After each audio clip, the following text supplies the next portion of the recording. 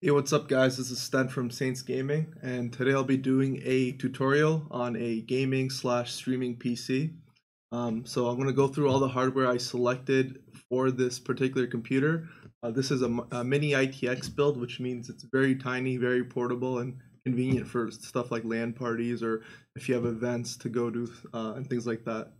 Um, so I'm going to go through each and every component. Um, I'm also going to suggest some alternatives if you want to do a more of a budget build if you were to pick out these parts by yourself, um, it would probably come around to 1800 Canadian, um, which I know is, a little bit on the expensive side. So again, I'll, I'll suggest some alternatives as well.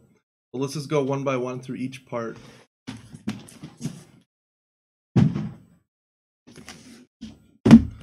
So the very first thing is the video card here. This is the Zotac GTX 1070 Ti Mini.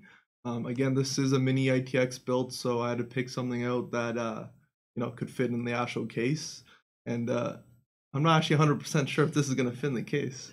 So this is going to be very interesting. Um, this is either going to be an epic fail or epic win. So we're about to find out. Um, I did see some builds online where it did fit, so I'm pretty hopeful. But people are saying like it'll just barely fit. I'm hoping there's no issues with that. And I'll start taking stuff out of the uh, boxes as well.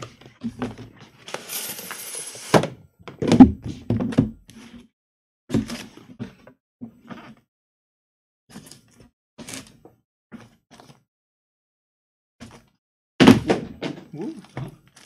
Fail number one. All right. Are we gonna keep like a tracker? we need a fail.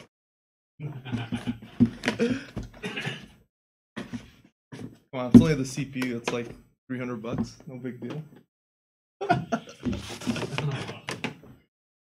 nah, should be fine.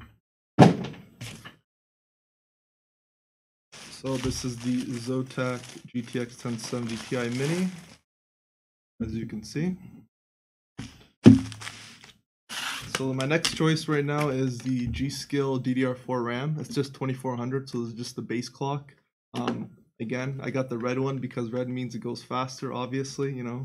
Uh, so if you want to get red if you if you want speed or you can get blue if you want it colder you know cooler ram. Uh, i got 16 gigs so it's two 8 gig DIMMs for this build. Again if you're streaming or doing any sort of productivity work like video editing um, you really do want uh, 16 gigs of ram if you're a gamer, you can get away with 8, but again, I'll go through that once I take everything out. Just putting this all this stuff off to the side. Now the motherboard. So again, you want a ITX motherboard. I went for the H370 uh, ASRock, uh, ASRock motherboard. I don't know how to say it, but uh, it's an ITX. And the actual nice thing about ITX motherboards is that um, they do have Bluetooth and Wi-Fi capabilities. So if you're in a situation where you do need that, maybe you're hooking up on an Xbox controller, or you can hook it up directly to your computer, no cables. And again, for this, I just went for the cheapest one, to be honest. Um, I'm not planning on doing overclocking. Um, again, the H series of motherboards do not overclock. Um, for, for a mini ITX build where you know all the components are so close to each other, you you don't really want to overclock anyways, just because um, of the thermal uh, you know limitations of such a small case so we got the IO shield. And then I also need this. This is a screw for the NVMe drive, which I will be using. Everything else, I don't really.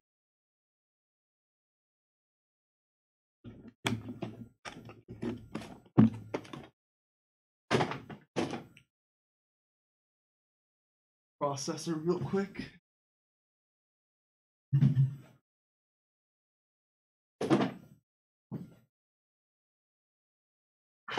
So this is the Core i7 8700 non-K. Um, it's a little bit cheaper, but it is non-K, which means you can't overclock it.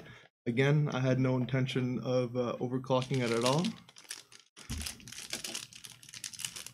And uh, let's be fancy and use an IO shield as a knife here.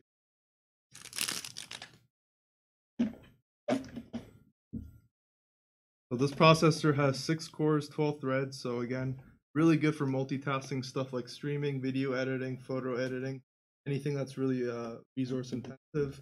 Uh, for gaming, uh, it, it's a little bit overkill just because most games aren't actually I don't know if any games will take 12 threads. So um, again, this is more of a high-end productivity build rather than uh, your gamer build. And we won't be needing the heatsink because I do have a after aftermarket heatsink with me. Grab it right now. So this is the Noctua NH-L9x65. I don't know who comes up with these names, but props to them, making it as confusing as possible. Um, this is a low profile heatsink. So again, we're doing a small ITX build. So we do need something that will um, fit in the actual case. I got Noctua is a little bit more expensive than other brands, but uh, they have like a five or seven year warranty and just like the mounting system, they make it super simple. So I think it's worth it. Uh, this I'm just gonna leave in the box for now because it does have a lot of uh, individual components like the backplate. Next is the EVGA. well, GG CPU. Yeah, I know. Hopefully it's not dead, but uh, oh well. This is the EVGA uh, G3, I believe. Yeah, G3 550 watt power supply. Um, for this type of build, 550 watts is more than enough. Realistically, 550 watts like is enough for any build, um, just because components have gone so efficient, and plus I'm not overclocking, so there isn't really much any uh, any point. This is fully modular as well, so I wanted it modular because uh, this case is really small, so I didn't want to deal with all the extra cables. Box off the side.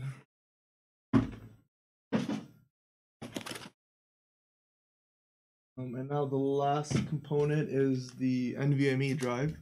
So this is actually a, an OEM one. You can't buy this um, in stores. But the alternative for this would be like some something like a Samsung 970 Evo. So this you just pretty much screw directly onto the motherboard. It's an SSD, 500 gigs. That pretty much covers all the components I'll be going for. Um, now, like I said, this is a little bit of a high-end build. If you're looking to do pure gaming, um, here are the suggestions I would uh, make instead. So for example, with the RAM, you could go for 8 gigs instead of the 16. Obviously, RAM prices right now are ridiculous. So um, going from 8 to 16 would probably, oh, sorry, from 16 to 8 would probably save you around 100 bucks. Um, so you could save some money there. Uh, another suggestion I would make is the graphics card. Uh, GTX 1070 Ti. Uh, if you're playing like 1440p gaming, then you probably would want something like this, especially with high-end games like Witcher 3 or Metro or anything like that. But if you're playing more esports titles, you could get away with something like a GTX 1060. Uh, I would go for the six gigabyte one, um, and that would save you like 300 bucks right there. And last but not least, the processor. So an 8700 is again six cores, 12 threads. You don't really need all that for um, for gaming. Like you know, no game's gonna take advantage of 12 threads. So you could get away with something like a 8600.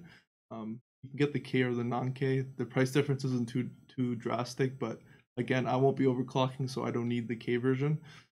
And that would save you another hundred bucks or so. So if you were to get those components instead of these ones, that's total savings around 500 bucks, give or take. You know, you have to look out for sales as well, uh, and also rebates to try and get the best possible deal.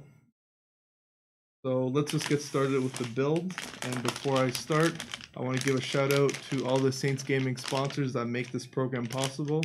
Um, so starting off with the uh, SRC here at St. Clair College, as well as the Al Alumni Association, um, and also Alienware, Subway, and also, of course, DXRacer, as you can see in the back, um, and also PC uh, outlet for um, your, PC parts needs here in Windsor let's start with the motherboard. So the first step, um, oh sorry, actually one more suggestion I need to make. Um, if you're actually if you want to save on also uh, storage space, you could get something like a regular SSD instead of getting the NVMe ones. The NVMe ones I opted for just because it's ridiculously fast, like eight times faster than SSD. But for gaming again, that won't really make much of a difference other than like loading screens.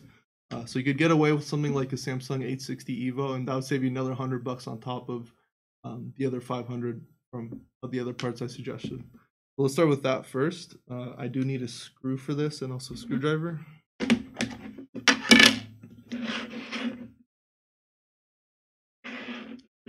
move this. Someone Should be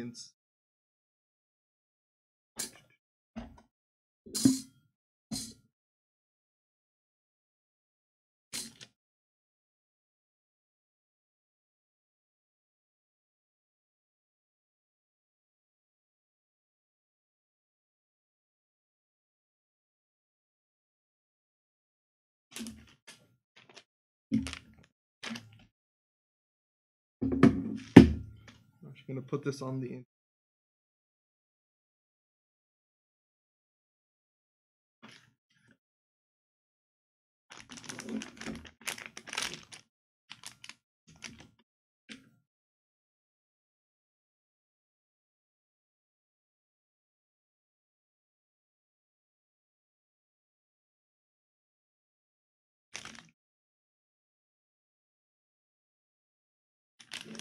Okay, so this motherboard does have a M.2 slot. Get it here on the bottom. I does have an M.2 slot. It's located right here, right above the PCI Express.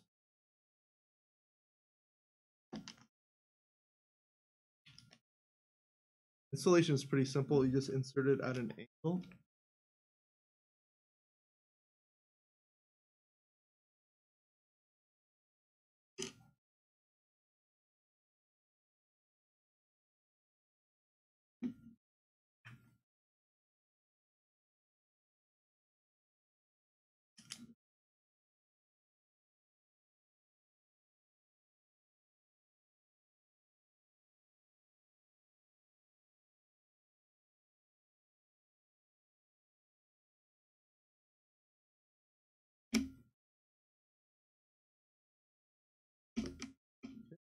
Good. Uh, now the next step is the RAM. For the RAM, you pull down the slots, line it up based on. So it should be this way.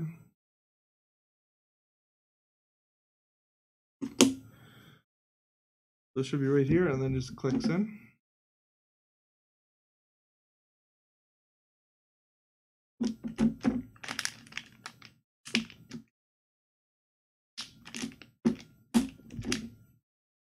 One.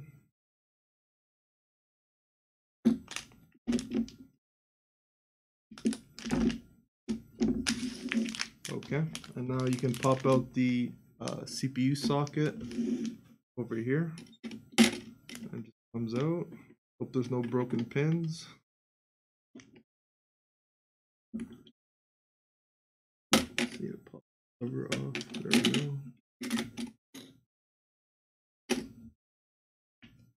Now with the CPU, uh, it does have some notches on it. So you just look at where the notch placement is and then you align it. There's also an arrow on one of the corners of, the CPU, which corresponds to a corner on the CPU socket as well. So make sure those two line up, otherwise you'll get broken pins and your motherboard's useless after that. I'm looking at the notches. So the notches are, are at the top of the socket and the top of the CPU. I just put it in here and then line it up. And there it is. I close the hatch.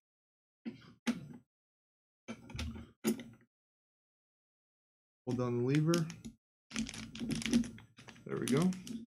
Now the next step is the heatsink.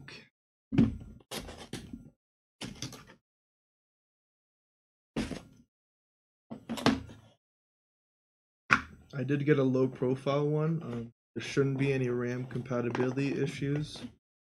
Hopefully, we're about to find out.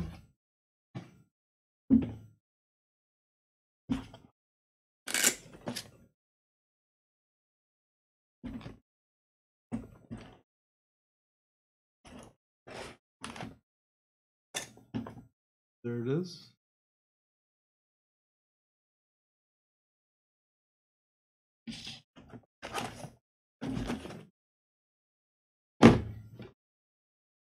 Look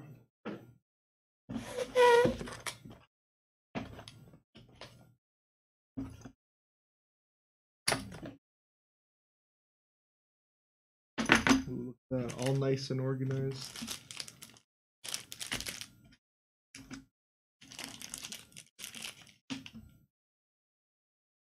Give you this to help with the mounting. This is the Intel set. They have one for Intel and one for AMD. Obviously this is an Intel board, so we'll be using the bracket for Intel.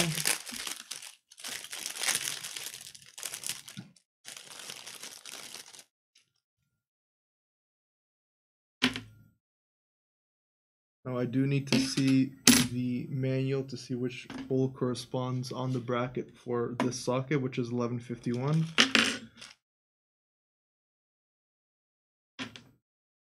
That real quick. I believe it should be the middle hole.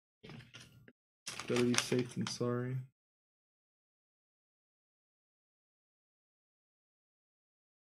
Mm.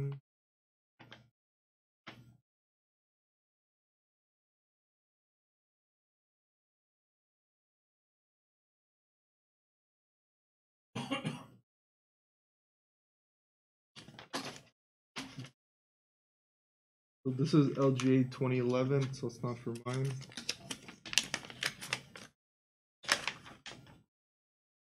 This is the one. So let's go back here.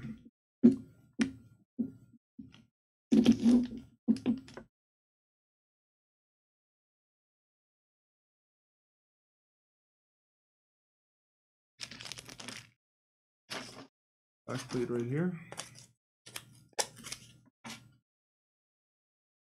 I'm learning so much. This is some good ASMR. well, thank you. I should start an ASMR channel. Yeah.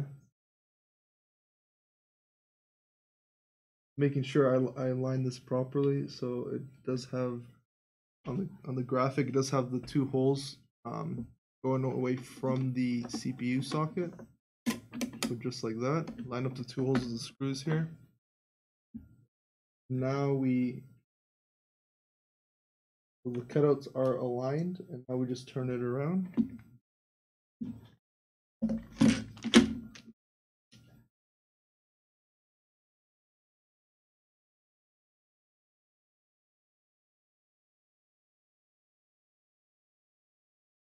We have to align the cooler with these two brackets. So let me see where the CPU fan header is here. So the CPU fan header is at the top of the socket, um, further away from the CPU. So I'm going to line it so the cable has the least amount of room to go through.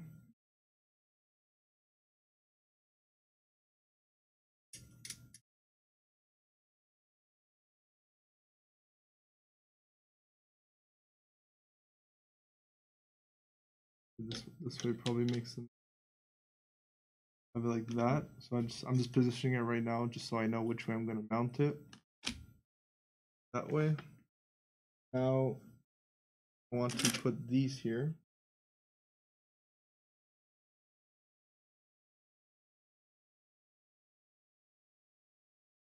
These ones go.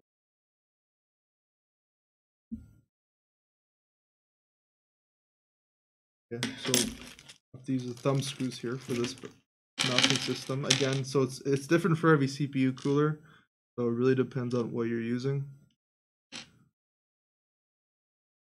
So for, for this one, I have to use the ones like this with uh, two holes on both sides. There's different types depending on which socket you're using.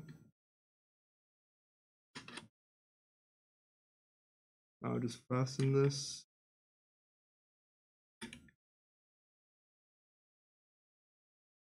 How many viewers, by the way? Most popular stream NA? Confirmed.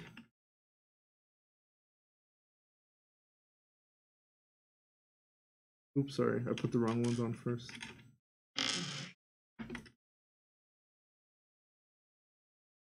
It's actually the, the little plastic ones. My bad.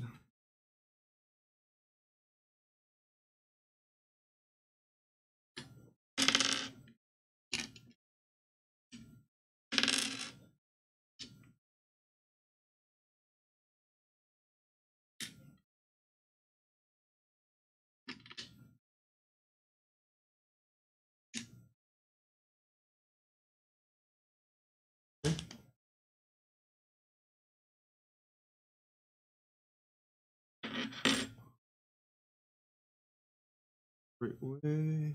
Yeah. Okay, so now I put the brackets on depending on which way I'm orienting it. This way.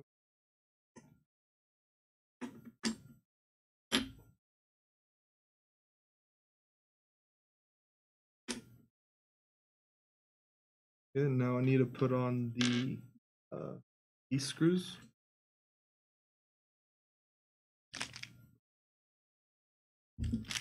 To fasten it down.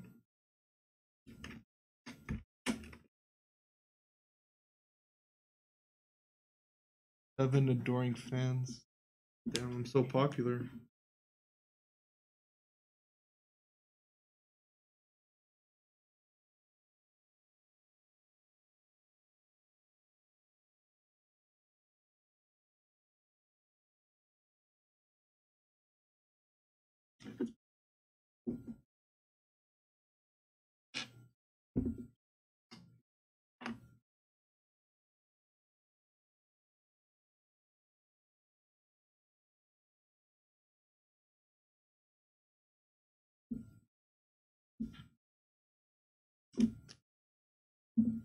Okay.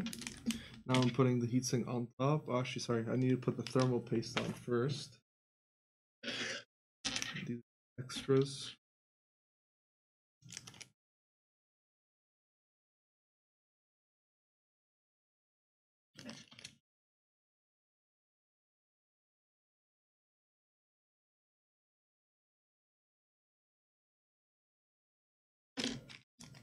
Here's the thermal paste. So you only want to use a little, little drop of it.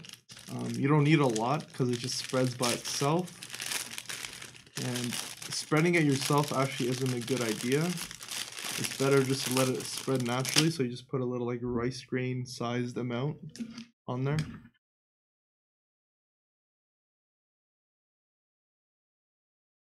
A little bit careful here.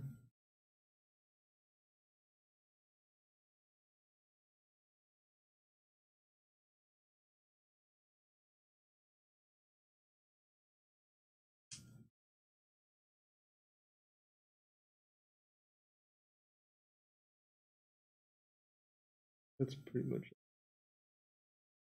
Might be hard to see on camera, but the little dot in the middle. That should be okay. Even a little a little bit too much. Now we take off the little plastic cover. We just mount it on there. So we're orienting it this way, lining it up with the screws on the side. All the thumb screws are secure. Plop it down.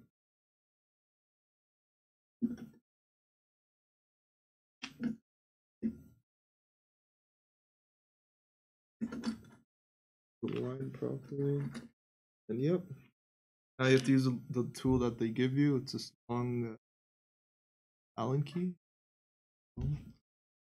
There's holes here on the sides where you actually have to mount it using this um, screw.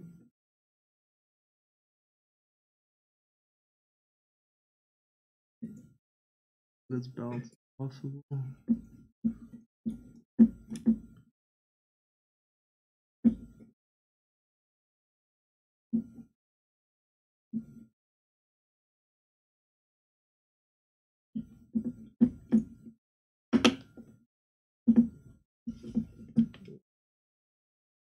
Okay.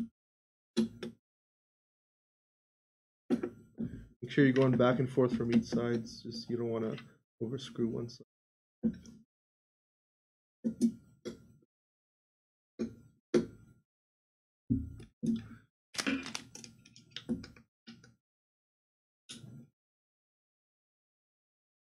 I think I should have. Might have been better to run the cable here first, so I'm actually gonna take out the RAM right now. Both the RAM sticks. I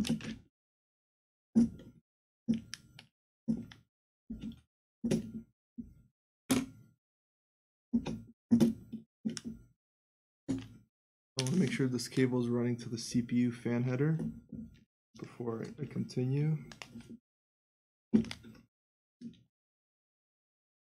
Gonna route it underneath, and I think it just barely should reach.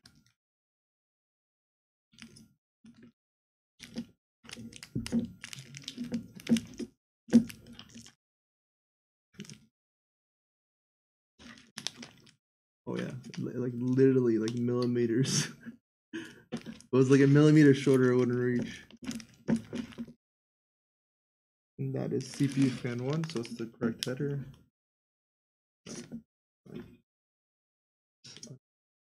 Sync a little bit, just so it's tucked away.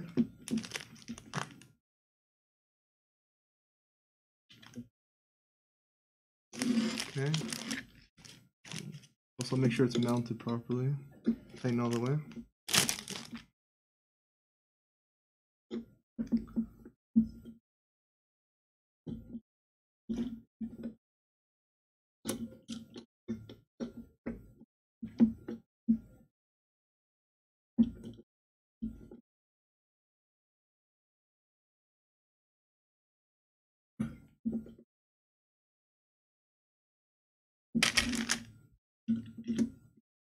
These these actually have um, springs. It's spring loaded screws, so it's not actually gonna uh, like the entire way because they'll just keep rotating.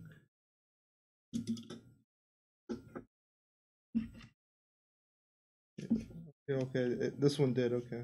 Sometimes sometimes it won't uh, screw in all the way, but this one does. So now we should be good.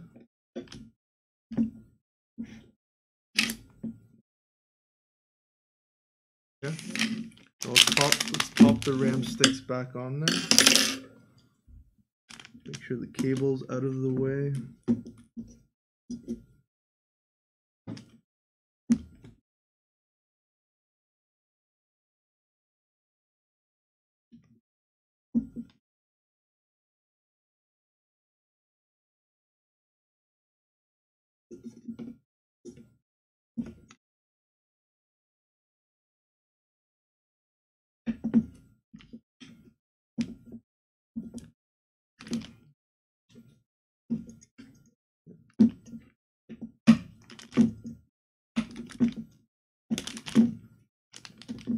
Clicked in there. On the next one.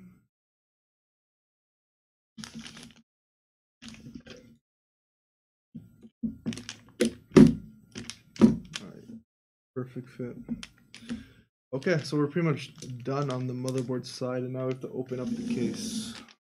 This is gonna be the moment of truth, trying to fit everything inside. We do have an Elite uh, 110 from Cooler Master. This is actually a super cheap case, and it's tiny. It's like 20 liters of volume, something like that.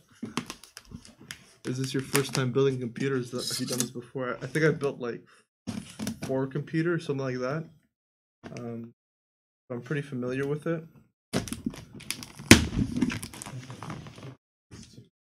Sorry? Uh, I don't remember if I built the stream computer. Been a while. I know I've opened it up before to like uh, install the Magewell card, the capture card, but I don't know if I built it. I can't remember. I think Travis might have built it actually. Yeah.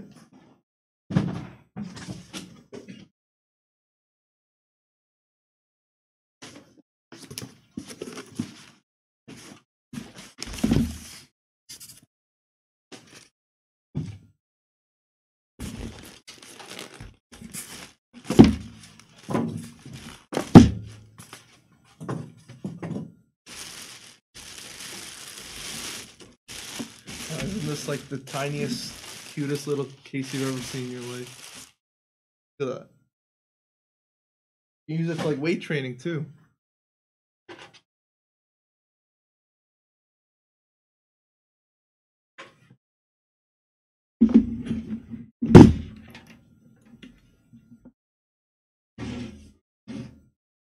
Open it up.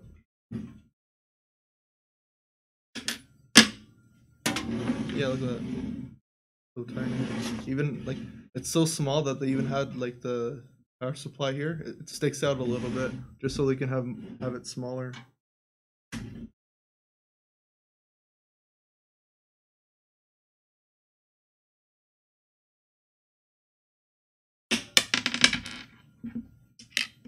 PogChamp.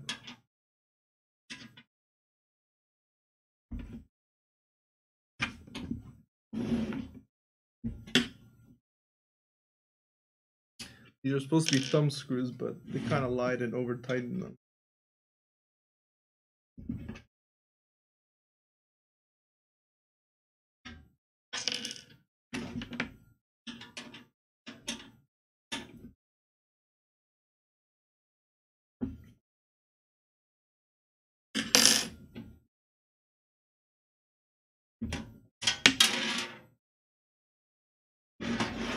Whole thing just slides off.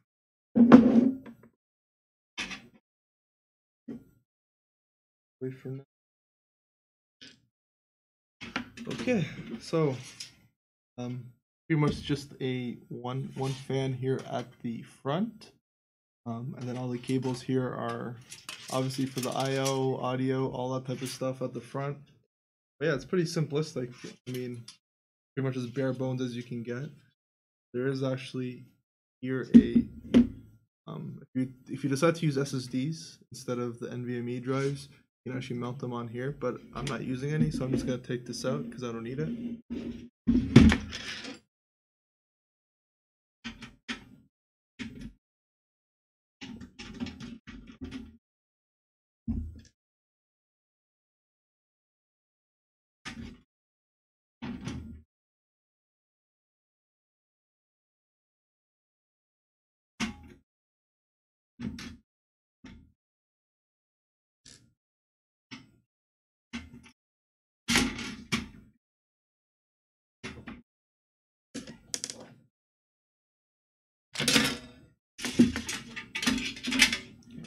Get all these cables out of the way.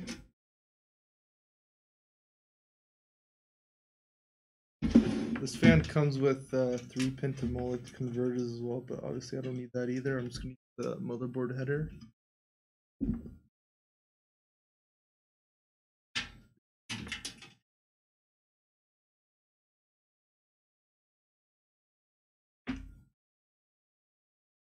Getting rid of the Molex converters. I'm just gonna pop in the motherboard. I actually do need to find the standoff screws first. Should be should be in the motherboard bag.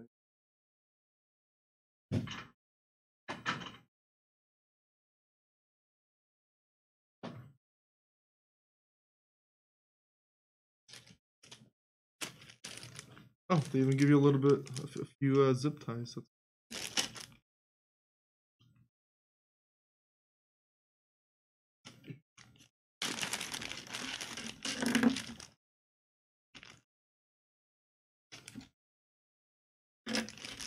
So the standoffs are these little um, golden pieces. I don't, I don't think they're necessarily always gold. So it screws on one side, and then you have another open socket on the other one. This is to help raise the motherboard away from the case, so it doesn't cause any sort of short.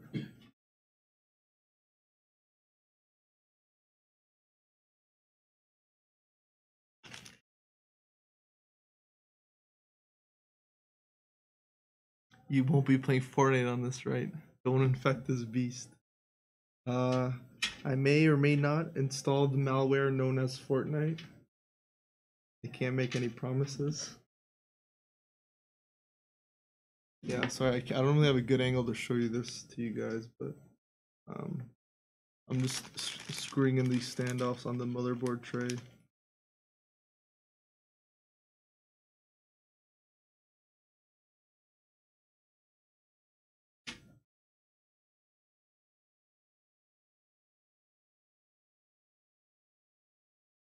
I'm heading. Yeah, I take care of all fun and games. I don't know who you are, but I'm assuming I know you in real life.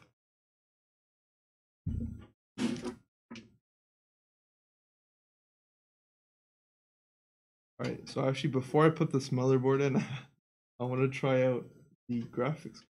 See how this would work.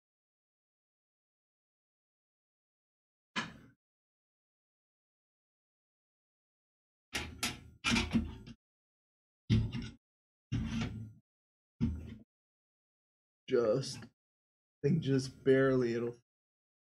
Well, I don't know. I can't really show that. See that?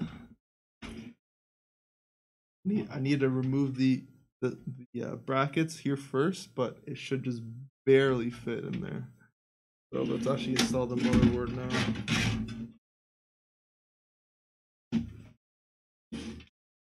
I wasn't joking when I said mini ITX.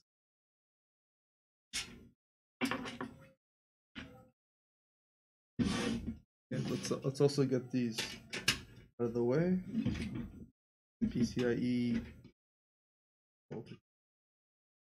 brackets.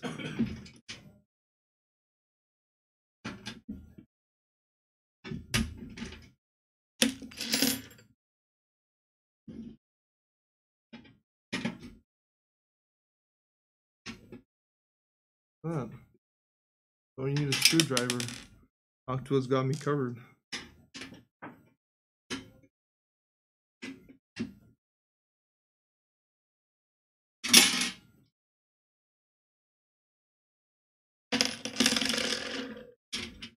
Out of the way. Like, gotta make sure you put in the IO shield first. Obviously, I feel like that's like a very common mistake. People forget that put put that on. So IO shield on pops in.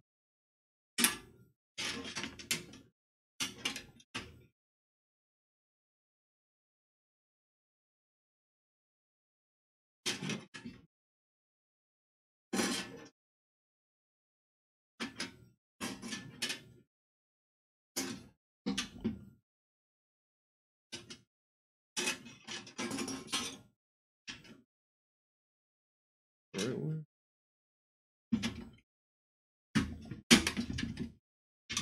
Just clicks. Yeah. Now I'm going to take the motherboard and align it with holes there.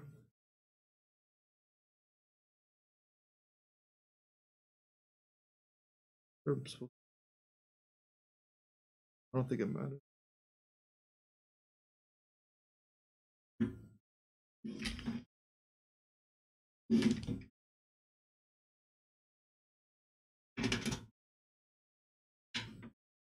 Try doing a top-down shot? Brian?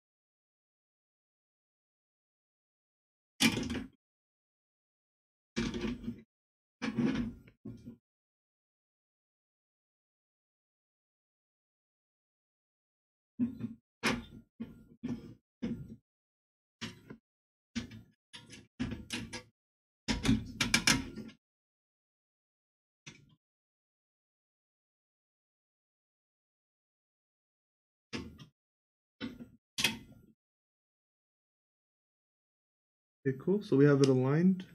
I'm gonna try and get a top-down shot.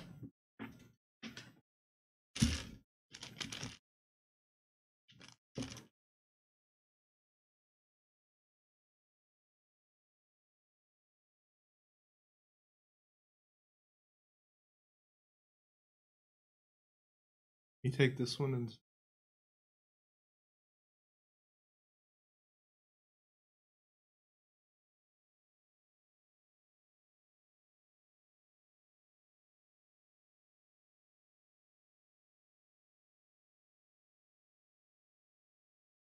Okay, cool. We're just move this over a little bit. Okay, so you see I have everything lined up here in the IO. Now we're just putting in these screws. So they are non-magnetic because obviously you don't want, um, oh, sorry, non-metallic, so it won't magnetize the screwdriver. So you do have to put them in manually.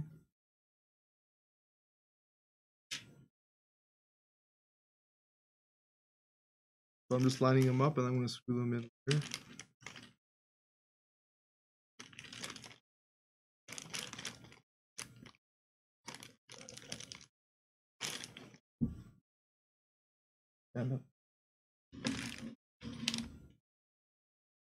So for mini ITX, there's only four of these on each corner. If you have a larger case or larger motherboard, it's going to be more.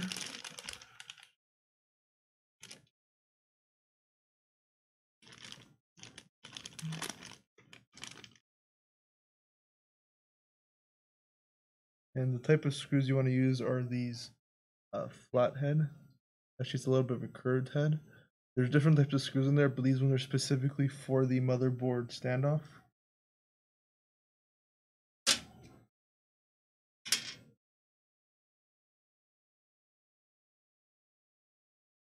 Okay, so I have all four in line. Now I'm just gonna screw it in. I'll use I'll use a little tool they give.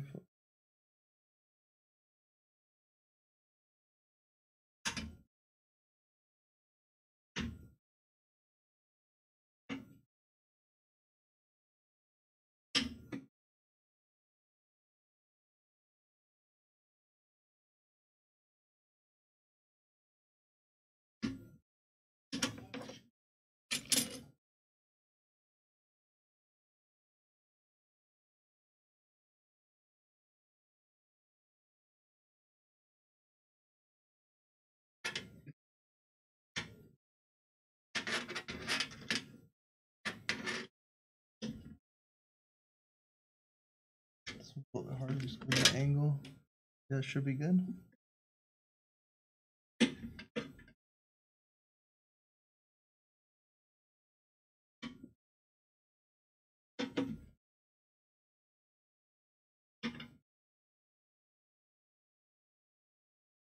Checking all four.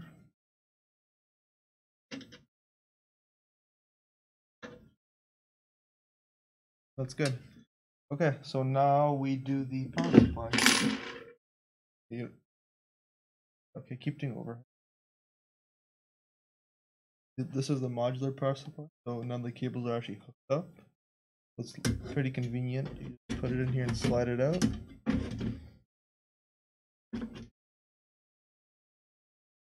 There you go, right above it. As you can see, it's a super tight fit with the uh, heatsink here. So I, I double checked to make sure all the dimensions were just right. I have to screw in the uh, power supply. And again, you want to make sure that the fan is facing the top because that's where it's sucking in all the cool air. You look at the shroud for this. It has a top filter.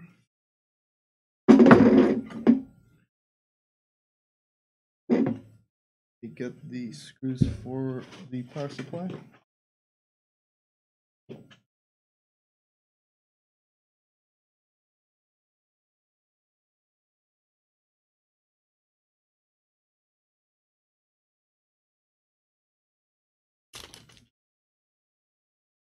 supply is only four screws, so pretty straightforward.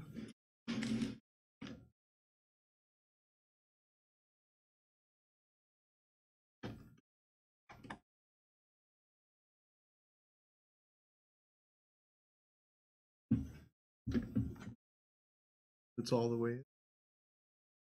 Again, 550 watts for this type of build is more than enough. Like, honestly, you could have like a 8700K 1080 Ti and still would be more than enough. It's like today's parts are so efficient, it really doesn't matter anymore.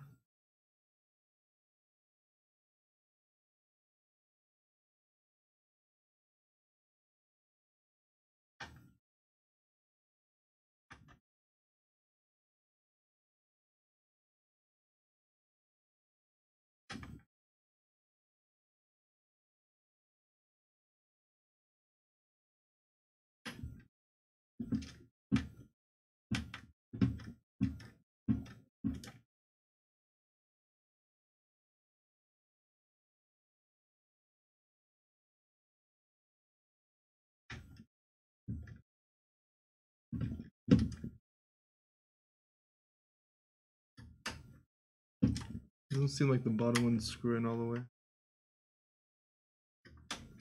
Should be fine. Okay, now um, you need to decide which cables I actually need. So here are all the cables that come with the uh, power supply and realistically, so this is SATA. I don't need any SATA. I'm not using SATA drives. This is the 24 pin motherboard power connector. Obviously, I do need that. This is uh, this is a VGA 8 pin, so PCIe 8 pin connector. Obviously, I need that as well. I only need one of them though, because my graphics card only has one 8 pin connector. Molex, more SATA, Molex. Here's a CPU, so this is an 8 pin. I also need, and that should pretty much be it. This is just the power cable includes. This is another if you have another graphics. Gonna be plugging in. And again, this is a super tight build, just barely enough space for everything. Again, that was the whole point, make it as portable as possible. Let's start off with the motherboard power, which is a 24 pin connector.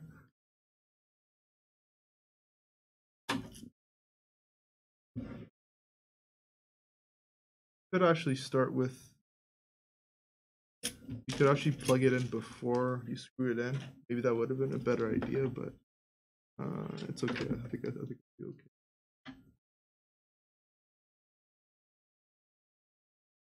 Yeah.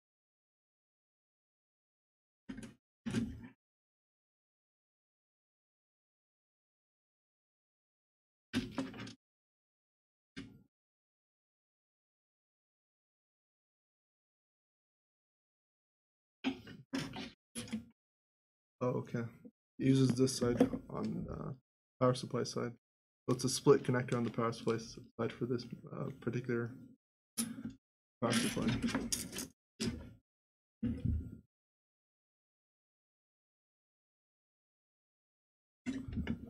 And just click in. It is a little bit stiff. That's usually how the power supplies are. Get a better angle for myself. Alright, and clicked in. The other one. Clicked in too. Let's just leave this off to the side for now. This is the two or is it this is the video card connector.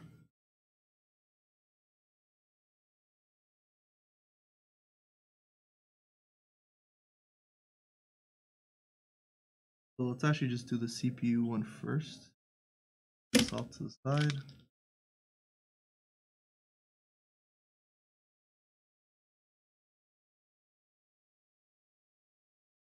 This is the 8 pin CPU connector.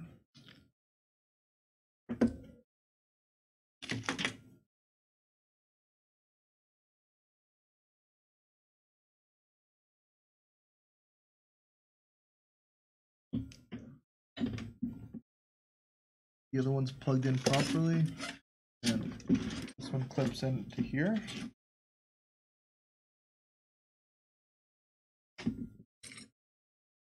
Let's leave this off to the side as well. And now the last one, which is the VGA connector, um, plugs in from this side.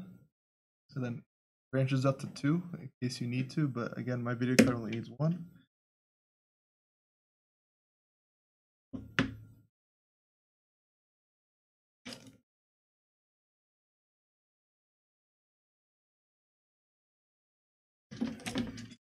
This VJ1.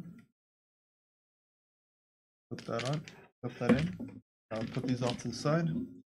Now probably the most annoying part of the entire build. Figuring out the power LED, power switch, reset switch, and hard drive LED indicator lights. This is actually I might have to look this up on the motherboard because you have to pair it up on the right um, positive and negative ter- uh, terminals. You have to take these out, see which one's positive, which one's negative. Second.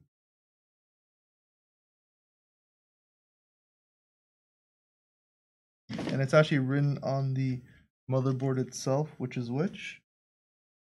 So first one is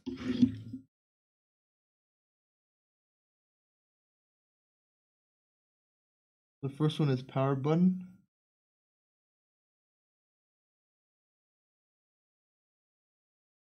With the plus on the right side. Let's look for power button here. Hard drive. Power switch. Here we go. Base it. Uh, it'll say plus or minus. It'll have an arrow here on the actual switch. This is literally the most annoying part of building a PC.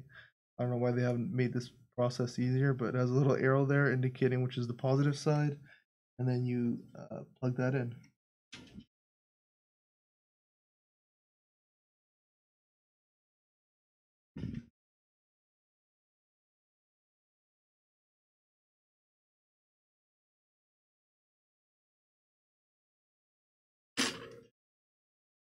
That's really annoying. If I can remove this part. Make this a little bit easier. Well, looks like this bracket here is non-removable. Oh no. Yeah, so power switch again.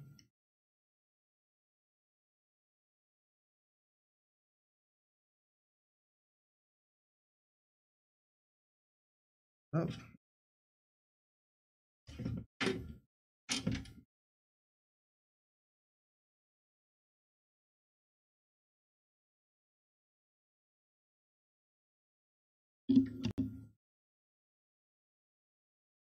Mm, Yeah, I'm gonna pop out the power supply.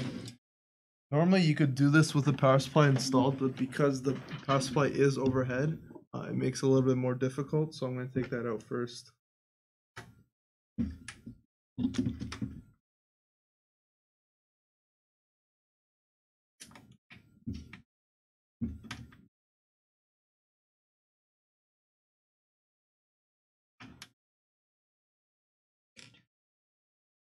Does the camera person have Parkinson's?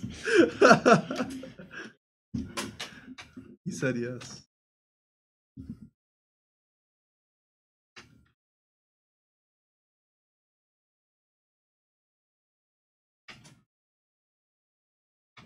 Difficult.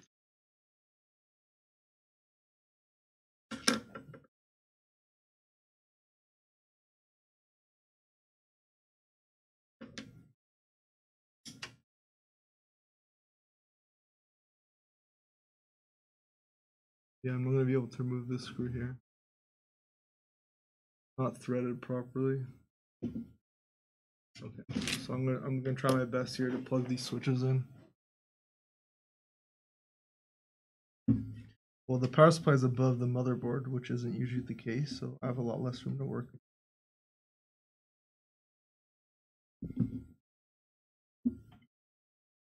Got it. Yeah, I got the power switch. Now, one is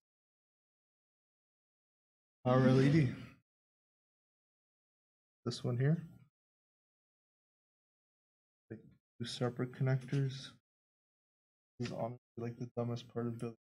I swear. PC case manufacturers need it.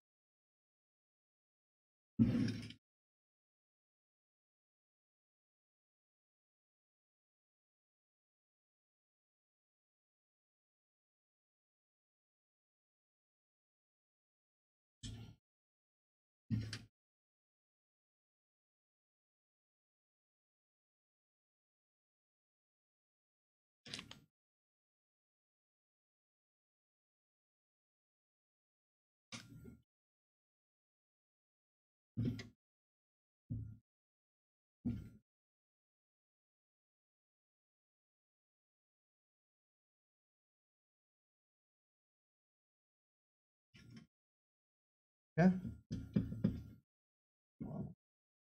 I've got the LED in now too.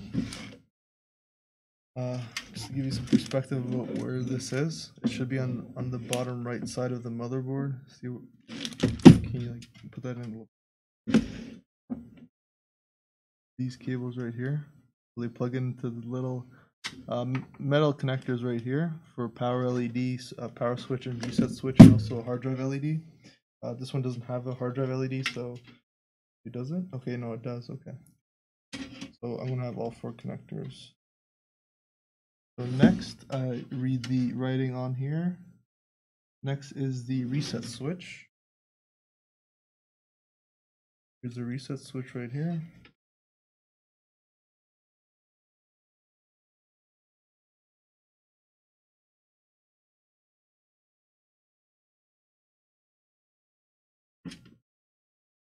Yeah, I got the reset switch, and then the last one is hard drive E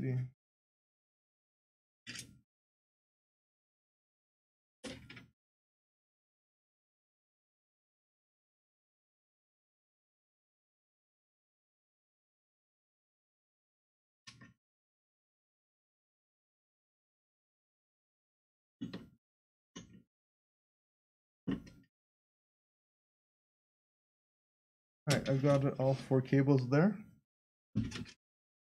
All the four all four cables here are plugged in for the front LED uh, connectors and indicators. Okay, well that was probably the worst part of it, and now the HD audio for the front panel. Um, the audio should be right here, right next to the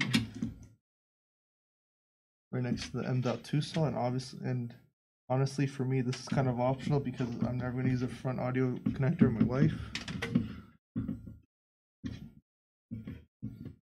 Let's plug it in for the sake of plugging it in. Right next to the M.2 slot on this motherboard.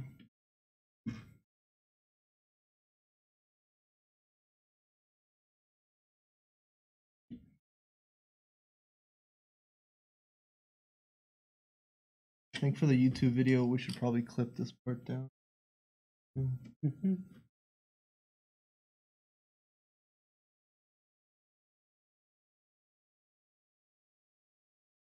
Okay.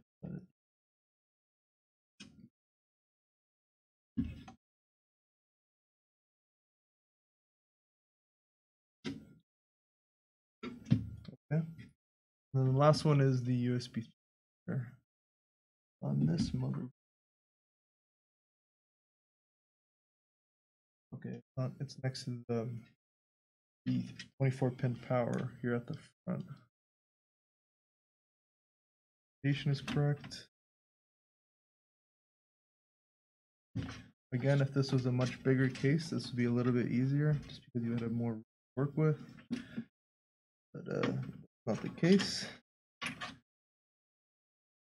Think of think of the bright side, guys. Once you get this done the first time, you don't have to touch it ever again. So it's just annoying the very first time.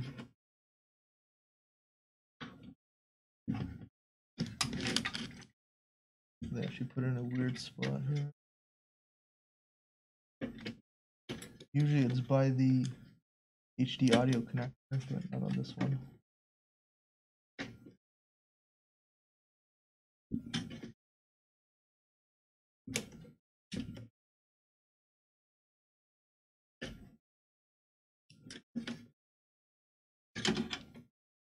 this is actually annoying.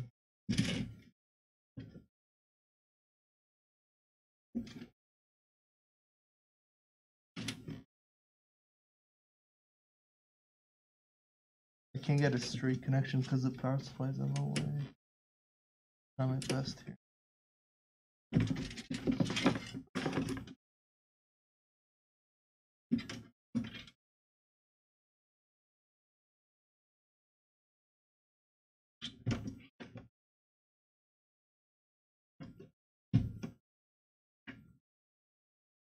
There.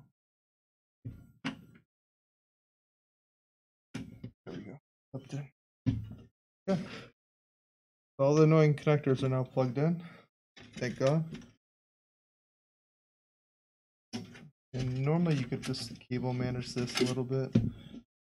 I'm not gonna worry about it right now. I'm gonna shove this here just so I can test out how well the graphics card fits.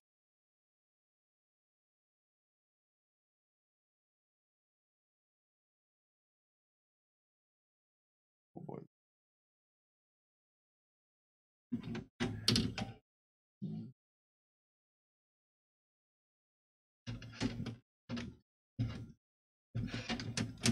Oh my- Woo! Like it'll definitely fit, just this part sticks out a little bit more than the rest. Yeah, that, that would definitely fit.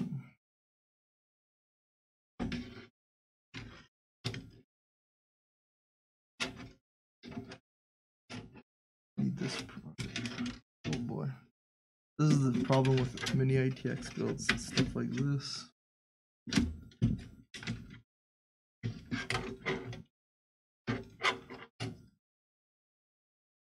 Let's see what the most optimal way of doing this is.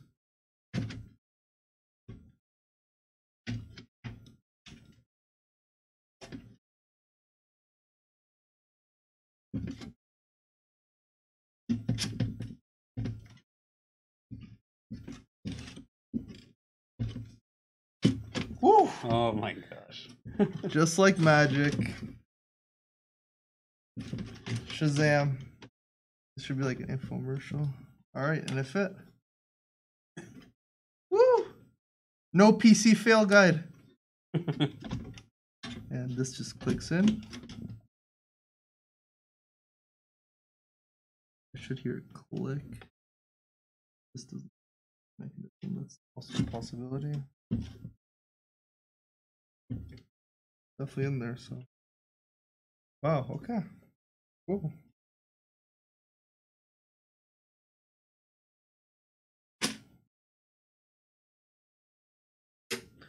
Time to solder the case off. Oh. Guys, just you gotta have faith. Gotta believe.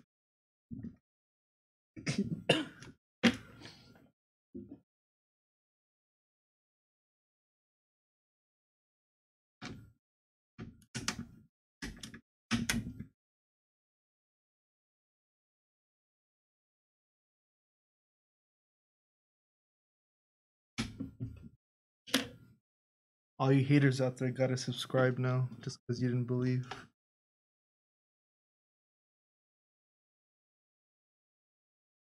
Yeah. Um.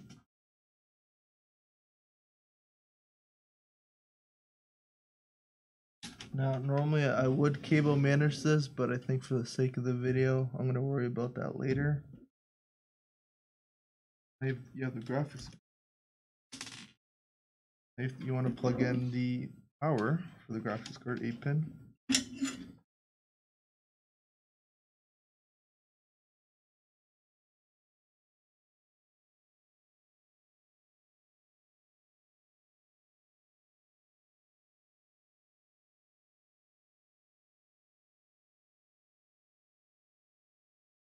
Up here that in first let me screw it in right now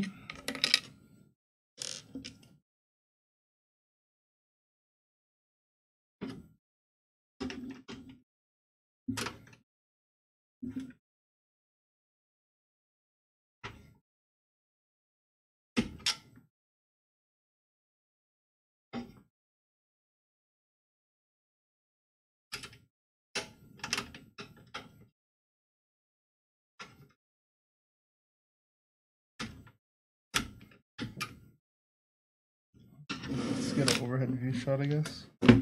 So this is the 8 pin power for that. And the graphics card just barely fits.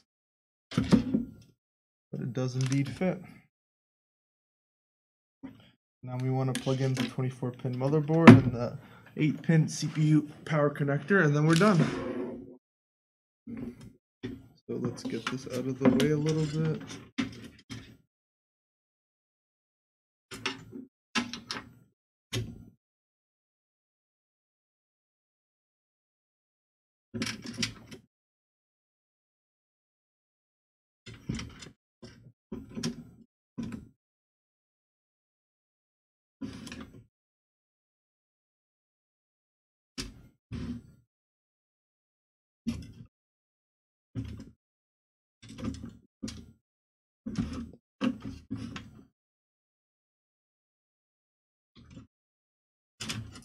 This cable up here to make it a little bit easier.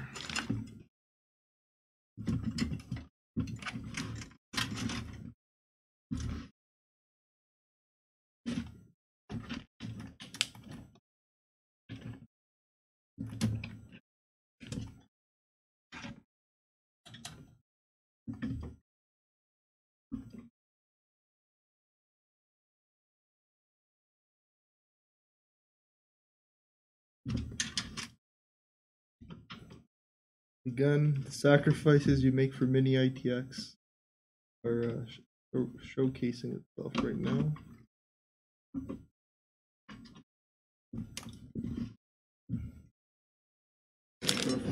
This- angle. So you see it's plugged into the 24 pin right there. And there we go. Now. Gucci 424 pin.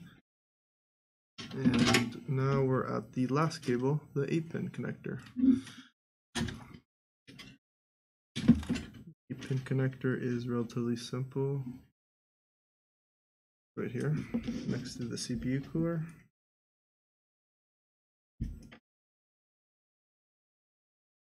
Put it together because it is two separate pieces because some motherboards only need four pins. This one does need eight.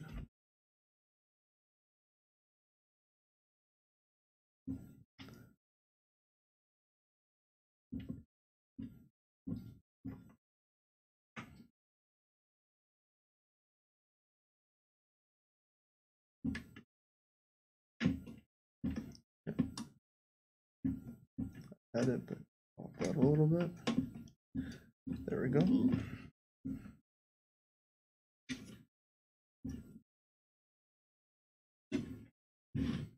Gotta make sure both sides clip in.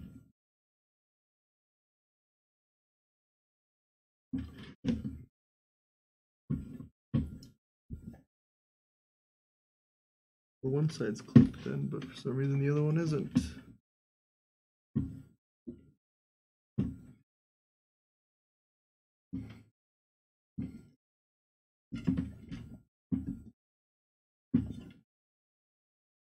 Hmm, it's weird.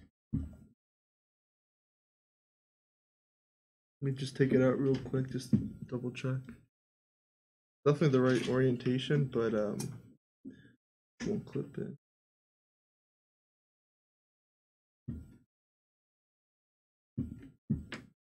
Okay, there we go. All right, cool. So it's now both sides are clipped in, right here. And again, normally I would cable management or cable manage this, but I'd probably make this into a six-hour segment. segment. Um, so normally you'd use these included zip ties um, to actually cable manage these and route them a little bit more conveniently. Uh, but for sake of this, I'm just gonna pretend like I don't care about cable management and just put it together as is because essentially it's done now.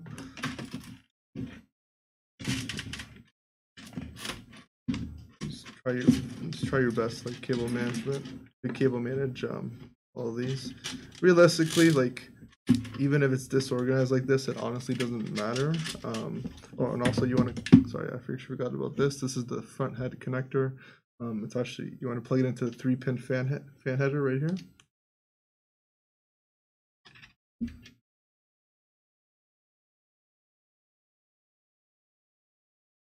Okay. I'm just gonna tuck it in here at the side, and that's pretty much it. Let me just put on the case.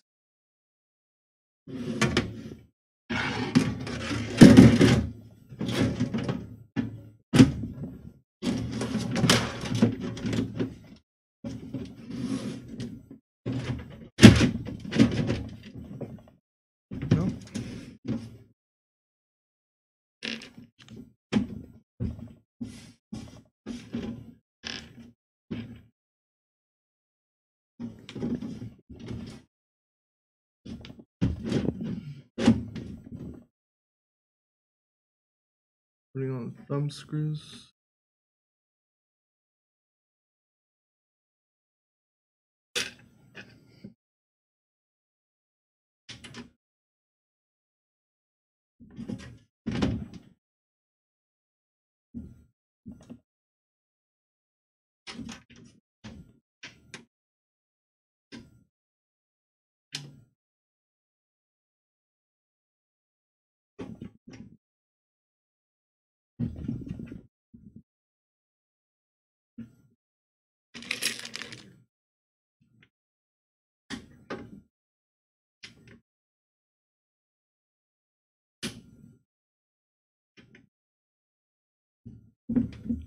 Helps because it kind of um,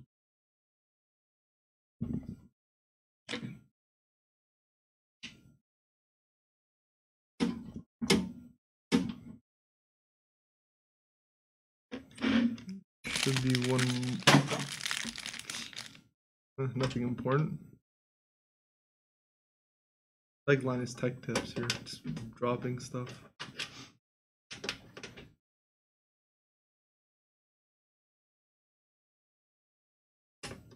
One's having trouble threading it. There we go. Okay, perfect. You have your own little LAN gaming PC now. Look at that. Now I know what you're thinking. You're probably thinking, "Oh my God, I never want to go through that ever in my life." Um, but I promise it's not that difficult. Um, it is a little bit tedious just because with the limited space you're working with. Uh, but once you do it once, then you have a gaming PC, LAN PC for however many years you want to use it for. So thanks for watching, guys. Uh, we'll have a clip on YouTube, hopefully a little bit more condensed than this. Um, again, the cable management is just hell. That would have taken probably another two hours, so it'd be a lot easier just to do this instead. Um, thanks for watching. This is Sten from Saints Gaming, and again, our sponsors. Thank you to our sponsors for making this program possible. If you're not familiar with us, check out saintsgaming.ca. It's a varsity uh, esports program here provided by St. Clair College with scholarships um, and a lot of you know a lot of perks and benefits, and you get to meet other people um, who are interested in esports. Um, so shout out to our sponsors, St. Clair uh, SRC, St. Uh, the Alumni Association for St. Clair, Subway, Alienware, uh, PC Outlet, uh, and DXRacer. So stay tuned for our next stream, guys. And again, if you want to come and check out our weeklies, we do have Smash and Melee weeklies. What time? When? Tuesday, seven thirty. Um, if you're, if, you're into Smash Melee or Smash Four, um, come check it out here at the SRC building at St. Clair. And until next time, peace.